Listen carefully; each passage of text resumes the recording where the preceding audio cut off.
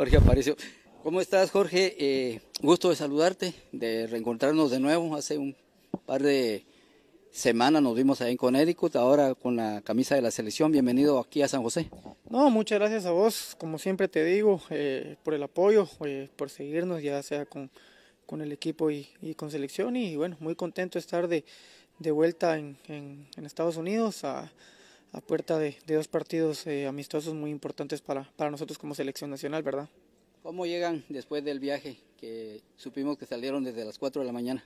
Sí, la verdad, eh, un viaje muy cansado. Eh, eh, salimos muy, muy temprano, aparte que la mayoría de, de jugadores venimos de, de, tener competencia con, con, nuestros clubes, pero, pero bueno, creo que eso no va a ser eh, excusa para que podamos hacer las cosas eh, de la mejor manera con, con selección en estos amistosos y, y, bueno, ya con muchas ansias para que, que sean los partidos. Bueno, el aficionado, el periodista, todos nos ilusionamos, al igual que ustedes, en un nuevo proceso. Eh, ahora se están preparando, Jorge, para los partidos de la Liga de Naciones, donde esperemos que Guate pues ya consiga su pase directo a Copa Oro y no se tenga que batallar como en la pasada. Sí, definitivamente, creo que esa es, esa es la consigna, creo que arrancamos con el pie derecho en los, en los amistosos anteriores creo que de a poco le, le tenemos que ir agarrando la, la, idea y la forma del, del juego al, al profe Tena y, y, su cuerpo técnico y, y bueno, como siempre lo he dicho, creo que Guatemala tiene muy buenos jugadores, tiene muy buena muy buenos recursos para, para poder hacer una, una buena selección y, y bueno, creo que con los compañeros estamos haciendo un, un buen grupo que creo que también es importante, ¿verdad? Jorge, ¿tendrá El Salvador una ventaja por haber estado en las eliminatorias y jugar la octogonal? Ahora ustedes eh, también los han enfrentado en varias ocasiones, pero ¿crees que tenga una leve ventaja la selección salvadoreña?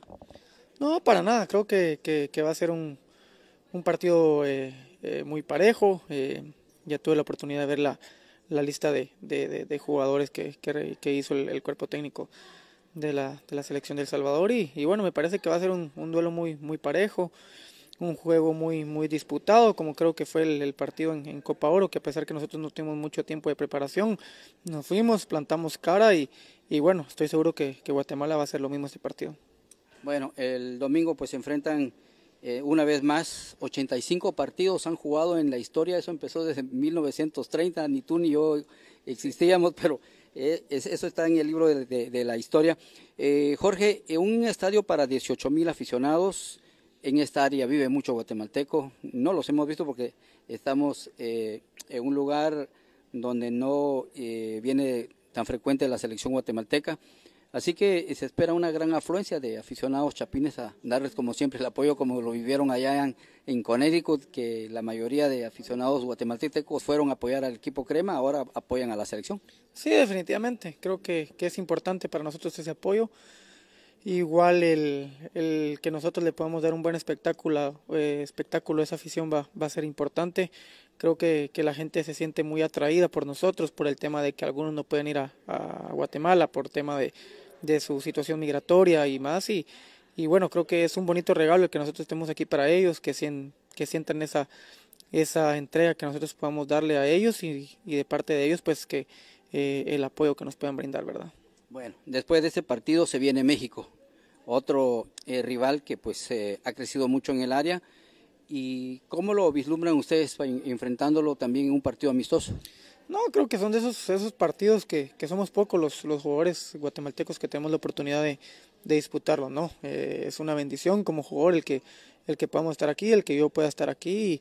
Y, y bueno, creo que como jugadores guatemaltecos creo que no deja de ser una vitrina, ¿no? No deja de ser una vitrina el poder enfrentarte a selecciones como, como México en un país eh, como el que estamos, ¿no? Que el fútbol creo que cada día está creciendo más y más y, y bueno, creo que eh, tenemos como que verlo como, como eso, como una vitrina, como una oportunidad para, para poder tener mejores cosas como, como futbolista y como país, ¿verdad?